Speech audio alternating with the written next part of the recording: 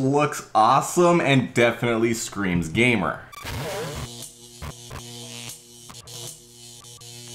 If you're a gamer, you know how important it is to have a solid internet connection when you're having those intense rivalries online. And right here today, I have a router that was made with gaming in mind. We have the Reyee RGE6 Wi-Fi 6 AX6000 router. This is an H-Dream gaming router that has everything you could want in a router for gaming and productivity, including a 2 GHz quad-core 64-bit CPU, a 2.5 gigabit per second LAN and WAN port for hardwired connections, 160 MHz channel for 8K video streaming, 8 high-performance antennas and 8 high-powered FEMs for increased range and obstacle penetration, a one-button mesh setup if you want to have multiple nodes around the house so you can have your whole house covered in intense Wi-Fi connectivity, WPA3 security security protocol, app control on your smartphone, and even a VPN server and client if you want to mask your IP address. Now being that this is a gaming first router, there is a dedicated gaming port you can plug an ethernet cable into to hardwire your PC or your gaming console so it can have priority over all the other connected devices when it comes to connectivity. The best thing about that, there's no special configuration you need to do, it's all automatic, just whatever you plug in there is gonna have priority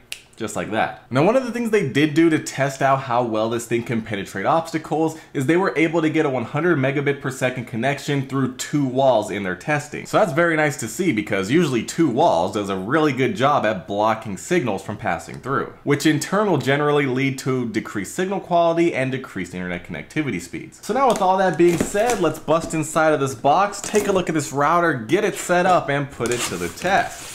Inside the box we have a Cat5e Ethernet cable, the power adapter, a warranty card, a quick installation guide to walk you through the steps of setting everything up, as well as the router itself which looks awesome and definitely screams gamer. So taking a look at this beast of a router, it looks very cool, kind of looks like a spider, looks like some kind of thing you could strap to your chest like Iron Man, but the design is only telling part of the story because it depends how well this thing can actually function performance-wise. But taking a look at this thing up here on the top, we have an LED light along with the dedicated mesh button. So with a simple press, you can connect it to another Reyee router so you can have a mesh set up around your house if you want to have multiple nodes everywhere. We do have some Reyee branding, another LED light up here at the top, and as you can see, we do have four sets of two antennas. Count it, that's eight antennas if you do some quick math for some great range and connectivity. As you can see, the antennas are initially pointed up, but you can also have them face inward if you need to. And I really like that, it's a very satisfying turn.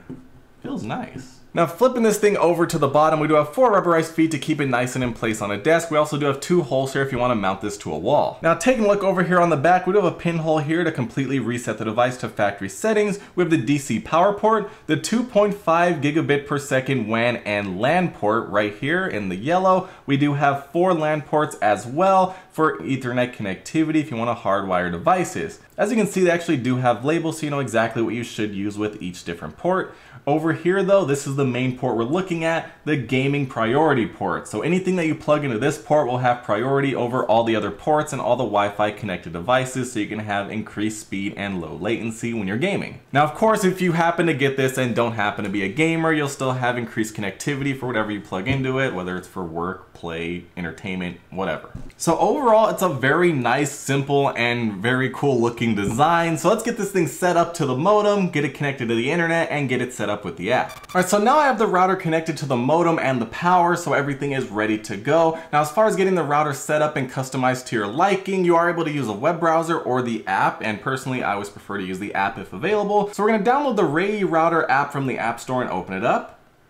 And right here, we're greeted with the screen where we're gonna add our router. So because this is a new router and we're gonna set up a new network, we're gonna say we have no old router at home and create a network. We're gonna complete these steps, power on the router, check mark, connect to the WAN port of the router, connected, next, and now we're gonna connect to the SSID that's being emitted by default from the router. So as we can see, it's right here, Reyee SF08C, and just like that, it automatically connected everything and now we're able to configure the router. So here we're able to enable or disable Smart Connect, so it's gonna emit a 2.4 gigahertz network and a 5 gigahertz network, so depending on your devices, you can connect to the network that you need. Now with Smart Connect, it'll automatically choose which network is best for that device and do it by itself, or you can turn this off and have two separate networks so you can do it manually by yourself. It's up to you. Personally, I like to do it myself because sometimes it connects to the 2.4 gigahertz network and it's slower and I don't want it, so it's not perfect. So right here, we're able to customize the name for our SSID Wi-Fi network name for our 2.4 gigahertz and 5 gigahertz network. If you happen to go the Smart Connect route, you just need to make one network because it'll cover everything. Next up, we're gonna make a password. And then right here, this is actually very cool. We also do have a game Wi-Fi network, which can be dedicated to gaming only. So you can customize the name for this as well. And once again, you can make a password. You can have it the same as the other one, make it different. It's entirely up to you.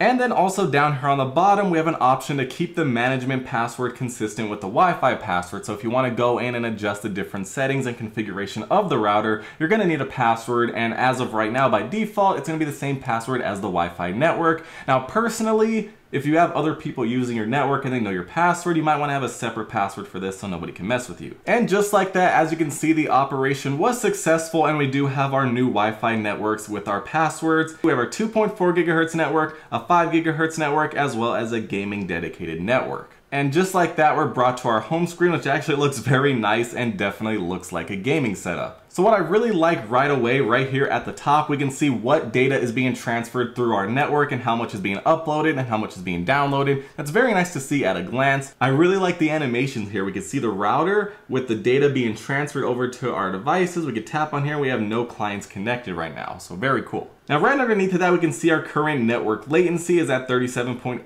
milliseconds, as well as a 0% packet loss rate. So I really like this, that you can just see everything at a glance. Upload, download, latency, latency and packet loss right here. Very nice. Now if we keep scrolling on down, we do have our game ports. You can see what device is connected. Right now we have no device connected. And then we also have the gaming Wi-Fi, so you can connect gaming devices to the Wi-Fi as well. Currently no device. We also do have priority devices, so if we tap on this, we can add devices here to get priority. So for example, you'd set your gaming console to be priority and it's always gonna have priority over everything else. Next up, we do have auto bandwidth control. So if you turn this on, it'll ensure uninterrupted gaming experience by prioritizing your game and suppressing high traffic applications that may cause disruptions. So once again, your gaming is gonna be unaffected. And then next up right here, we have the console booster. So we have gear up console booster. By default, it's off but we can actually turn this on. It supports game consoles like PlayStations, Nintendo Switch, Xbox, Oculus, and Steam Decks. The average latency is 20 milliseconds, the average packet loss is 0%, and the average speed is up by 98%.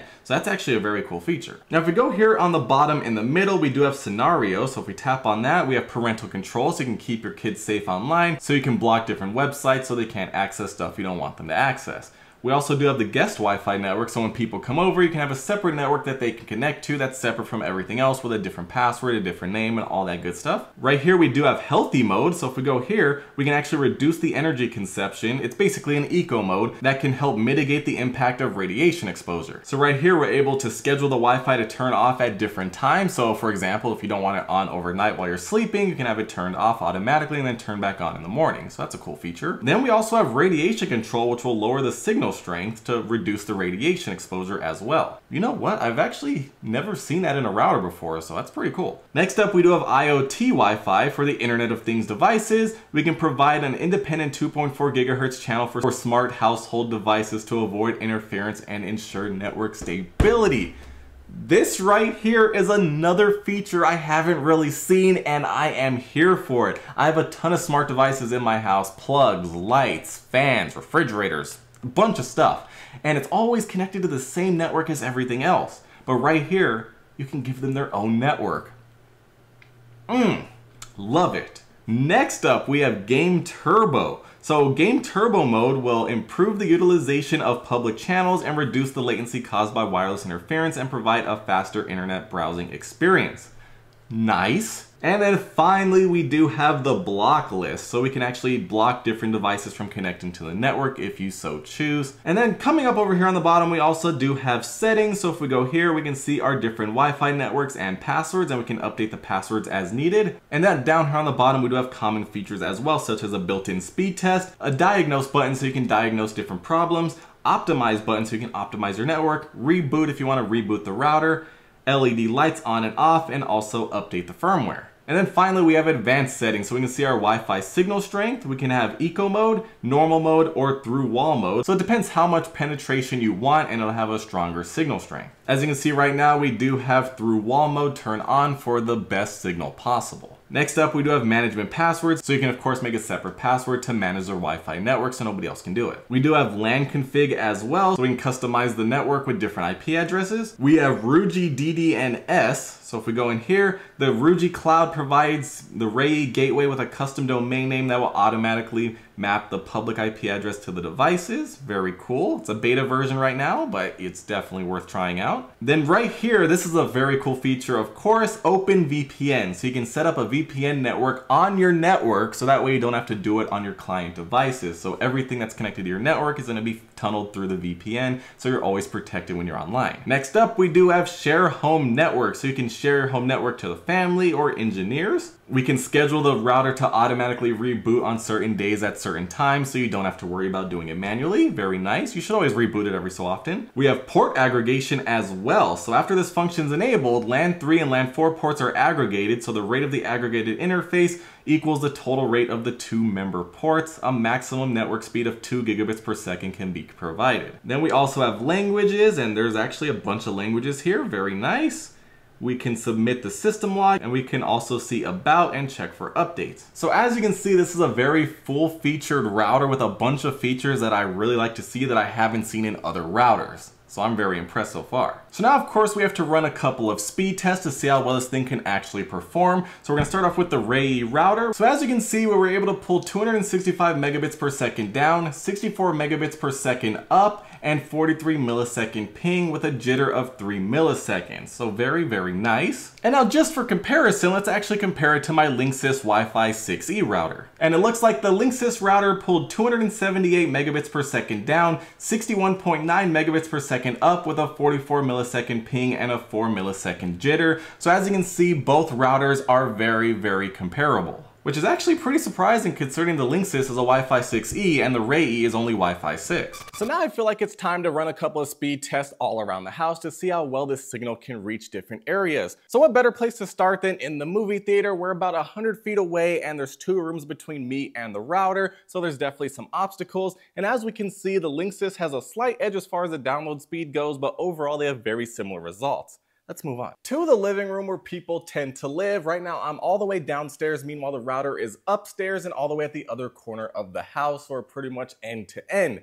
It looks like the Reyee has a slight edge as far as the download speed goes, but a significantly better upload speed. That's impressive.